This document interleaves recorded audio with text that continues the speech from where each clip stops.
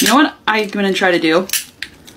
I'm gonna try to like put a glump of cheese and then roll it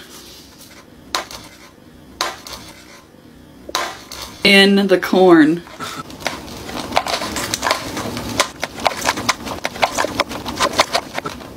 Uh-oh. Well, that ruined it all. this is horrible.